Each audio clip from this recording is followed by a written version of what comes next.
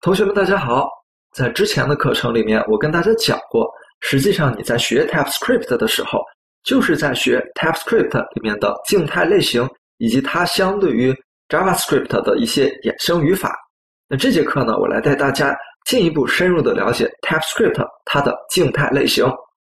那在桌面上，我创建了一个 TypeScript 的文件夹，然后我在编辑器里面打开这个文件夹，在文件夹里面呢，我创建一个文件。叫做 demo 点 ts，OK，我写一个变量 const count，冒号 number 等于二零一九。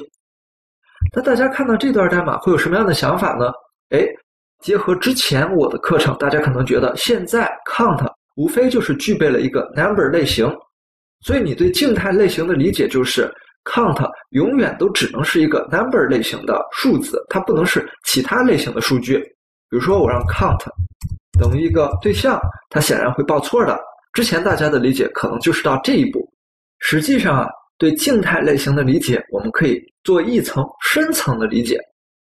那 count 是一个 number，当 count 具备了 number 的静态类型之后。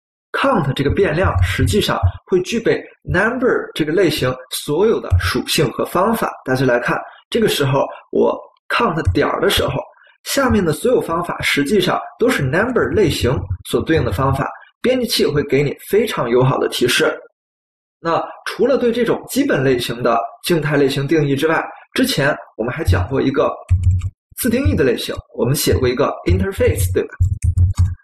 我们定义了一个叫做 point 这样的自定义类型，那里面它会有一个 x 是 number，有一个 y 也是 number。那我让一个小的变量叫做 point，它等于 point 类型。于是现在会报错，怎么才能让它不报错啊？它的值必须有一个 x 是一个 number，比如说三，必须有一个 y 四。这个时候就不报错了。好，这句话的理解是：point 变量实际上一定是一个自定义的 point 静态类型。除了这层理解之外，实际上你还应该理解 point 这个变量上具备 point 类型所有的属性和方法。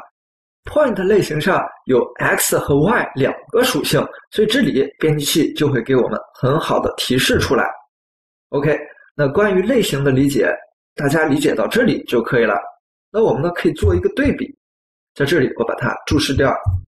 假设呀，我定义了一个其他变量叫 counter，counter 现在没有任何的明确的类型，所以我去调 counter 的时候，哎，编辑器就不会给出任何的语法提示。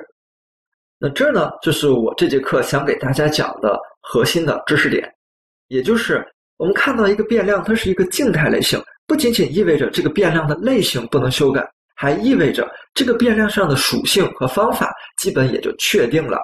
正是因为这样，编辑器在使用静态类型的时候，就可以给我们很好的语法提示。那这就是 TypeScript 里面 Type 它的一个深度的本质性的理解。好，讲到这里，这节课就结束了，大家加油！